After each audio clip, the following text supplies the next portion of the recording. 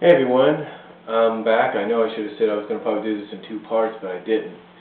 Um, but in the previous video that I did, I talked about in more detail what TNA did and how and what they did right to really get people watching. Now WWE, um, you know, you got to give WWE credit. Yeah, to a lot of people it's the same old, you know, thing. But you know, WWE knows what they're doing. Believe me, they know what they're doing.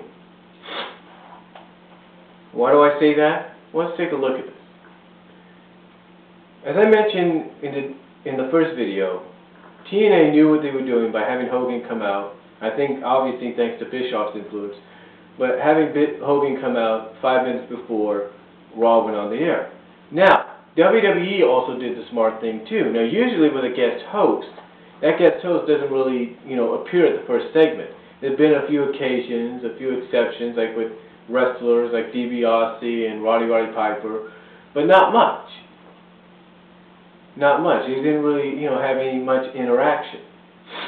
You know, DiBiase, when he was on there, he was only there to push his son and and try to do the right thing for his, you know, for his kid. Um, Roddy Piper didn't even come to the ring until the middle of the show, and that was it. So the question is, what did WWE do that was right on Raw this past Monday? Well, apparently they started out with Bret Hart. They had him come to the ring. They had him basically, I think, partially shoot, if you will, and let him just be himself. You know, they had a great interaction with Shawn Michaels. You know, they did everything great. They did everything fine. And then, yes, they did everything fine. So, so apparently, um, you know, they did everything right right there. And it kind of made fans kind of confused because, you know, they wanted to see the interaction between what Hogan had to say and, you know, the situation there, but they also wanted to see Bret and Shawn interact for the first time in 12 years. So, and that's what happened. And, you know, and that's what happened. And, you know, fans wanted to see that. And that was very strategically well done by WWE because they knew exactly how to get fans to switch over. They knew if they just started with a match or said, okay, this guy's on here, and then they start, like I said, start with a match, they're not going to get anybody switching over. People are going to switch back to TNA and watch Hogan and, and the NWO. But WWE didn't do that. They had Bret Hart come out and give him the time he needed, along with Shawn. You know, they did some great things. Now, again, some of the matches were some of the same old matches, no doubt about it.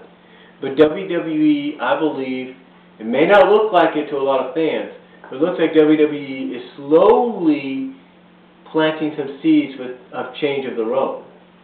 And slowly planting the seeds of that change that will accumulate, a, if you will, or accumulate, accumulate, if you will, or come together, I should say, at WrestleMania. Why do I say that? Well, let's just take a look at this. Um, Jericho, gone from Raw, supposedly, but is trying to still get back on. Um, Shawn Michaels and Triple H are still the tag team champions. Now, rumors are going around that they'll be the last two in the Royal Rumble match. Now, if that occurs, the seeds will be slowly planted for the matches. Now, I'll get into that in just a bit. Now, the other thing that they did is they also continued to build Sheamus up as a monster heel, as a monster heel champion. Champion, even though he'll be defending against John Cena at Mania. Or not Mania, but at the Rumble. And then, of course, at the end of the show, they planted the seeds for the Vince McMahon, Bret Hart fight, street fight apparently, at WrestleMania. So the question is, were those, which were the high points? Well, the high points were obviously the interaction that Bret had with Michaels and Vince. Those are the high points. Those are what fans wanted to see. Now, despite what some wrestling fans may say, it is intriguing on how WWE keeps trying to push Jericho oh, in the storyline to where he wants to be on Raw. I believe eventually what WWE is going to do with Jericho, whether it's on Raw or SmackDown, is they're going to have him basically come out and say, look, The reason I want to be on Raw as well as on SmackDown is because I don't need a title or a unified title to do to do that. I should just be given that opportunity because I'm the best at what I do. That's what I think they want to do with with with Jericho. They want him to say something like that, basically saying, "Hey, I'm better than everybody else. I should be on both shows, despite being unified champion or not." That's what I see happening. Now, they did all, they did everything, planting all the seeds and everything. They did a good job on that. Um, now, again, as far as um, Royal Rumble goes, in the weeks to come, you'll be seeing some seeds planted entered with DX, you know, possibly disbanding or just having some dissension, especially after the Rumble occurs, because rumors going around is DX will be the last two in there. Now, if that happens, this is the scenario WWE will be working on. Uh, if Shawn Michaels wins, then he'll obviously challenge. Then what WWE would do if they, if Shawn Michaels wins, then what WWE will do is they'll have Shawn Michaels challenge the Undertaker because they'll have the Undertaker retain the world title. They'll change the, they'll change up the plans. That'll be this will all be part of that change they'll be going through. Then instead of having Batista win the title at Rumble, they'll have Undertaker win it uh, retain and possibly have him lose finally at WrestleMania to Michaels. That would be the only uh, logical sense for Michaels to win the Rumble. Now, if Triple H wins, and it'll be uh, and it would be so ironic to be winning in the same same uh, same place that he won the 2002 one. If Triple H wins, then he'll then Sheamus will keep the title and of course, they'll build up to Sheamus and Triple H. Now, why would they do this? Why would they plant the seeds for this kind of change in the next couple of weeks?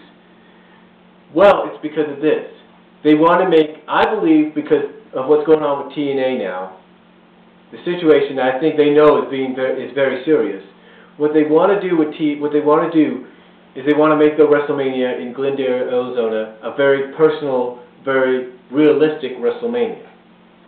In other words, if Triple H wins the Rumble and challenges Sheamus, because apparently they'll keep the title on Sheamus, they'll reveal the background between these two. Like, oh, the reason, you know, Sheamus, they'll apparently have Sheamus just come out and say, hey, the reason I'm on top is because of this guy, and now I'm going to finally prove that I don't need him anymore. That, that's what I look at. I mean, the three main events, if not four main events, this is the way it looks like. If Triple H wins, Sheamus retains, Sheamus, Triple H, Undertaker, Michaels, McMahon, Hart.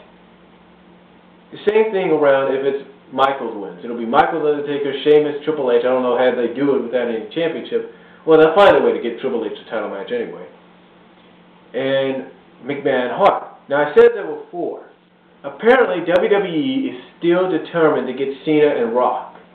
I don't know how that will even occur, but apparently that's what they want. So WWE is going to do, believe me, after this past Monday, after seeing themselves get, I don't know, as some people say, destroyed in certain ways at certain times during Monday Night Raw, during the Monday Night War, WWE will do whatever it takes to get this whole, these four matches to occur. They'll do that. And they know that if they get Cena and Rock to become a reality, people will basically blow TNA, they will blow TNA out of the water. That's what I see. And the seed of change for WWE to go from the PG rating to the TV-14 rating, despite how people feel about it, will occur at WrestleMania. I feel that. Now you might say, now you're probably thinking to yourself, well, Brian, you get this all from the from you know just this past Monday night's TNA WWE deal. Well, it's just one fan's opinion, but I truly believe that's what WWE is going to plan to do. And that's all I have to say in I guess my more detailed look at what WWE did this past Monday and how they plan to use that in the future. And I'll talk to you all later. Peace.